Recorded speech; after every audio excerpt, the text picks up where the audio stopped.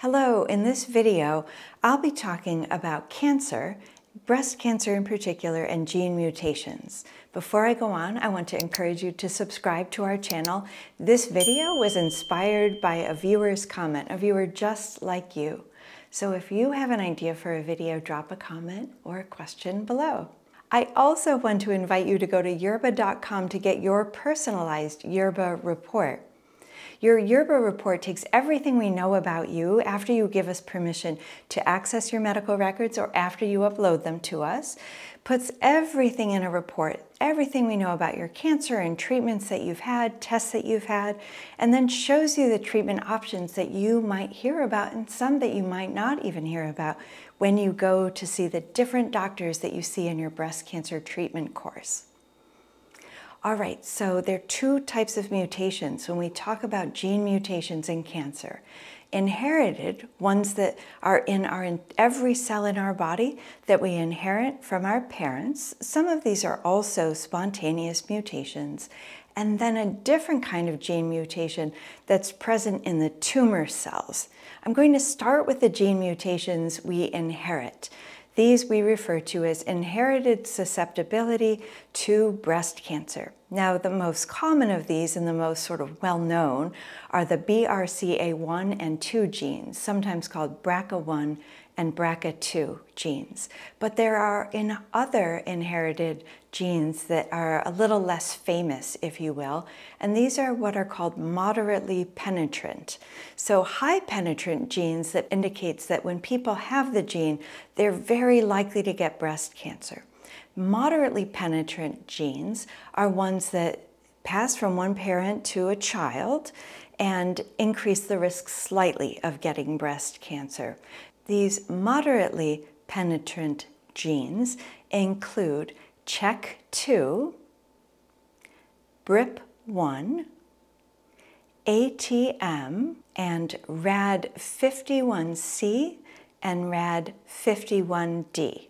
How people remember the alphabet soup of genes, I'm not entirely sure.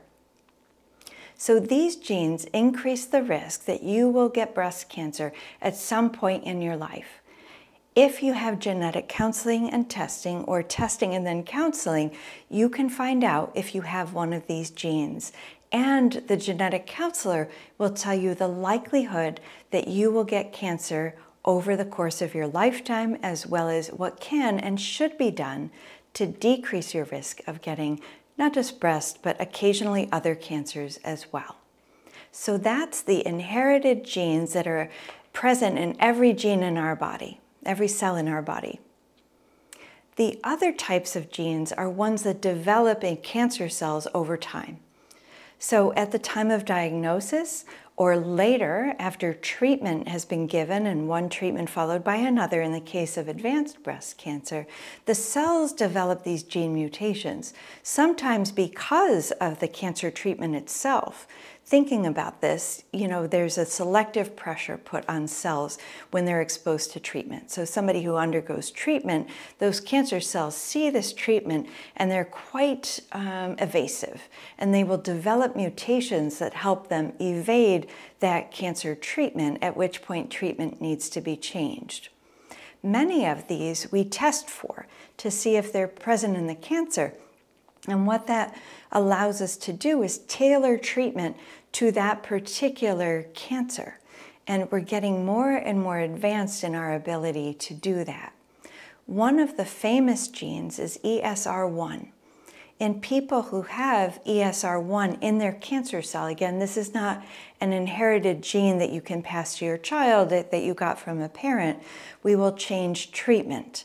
And these often develop because the cancer cells have been exposed to one particular endocrine therapy. We've, we've known for years that in people who are on endocrine therapy and their cancer comes back, it's because they become resistant to a treatment.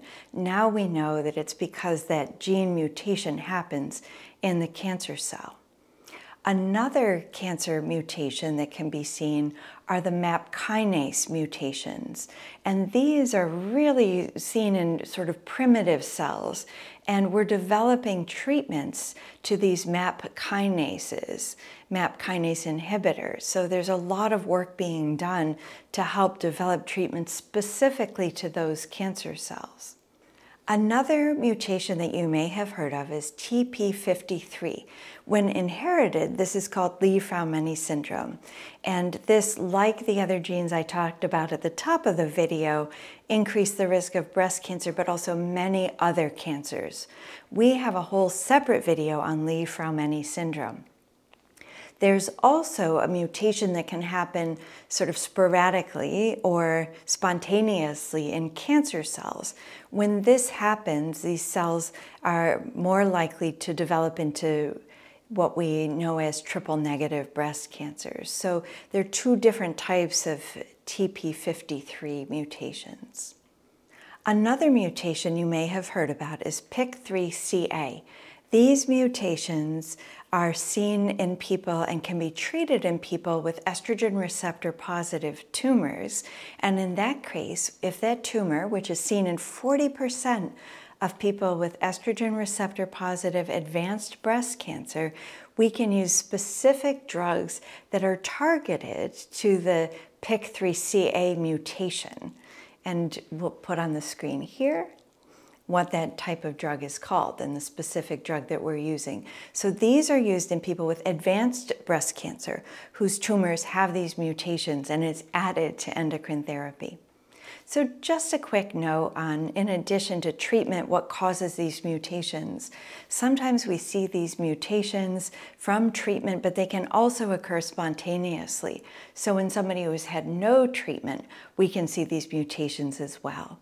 And then there's thought that over time, inflammation and infection may also increase the risk of mutations in cancer cells. There's a lot of work being done. I want you to be really encouraged that this is really a hot area of cancer research and new drugs are coming out all the time. In fact, by the time you watch this video, there may be other treatments available. Keep the faith, stay hopeful. Thank you for watching and we'll see you next time.